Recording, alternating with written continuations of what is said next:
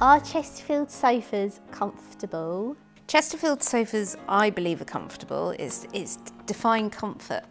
So some people need more support and want the, um, uh, the Chesterfield. The Chesterfield would give you the support that you need if you've got back problems.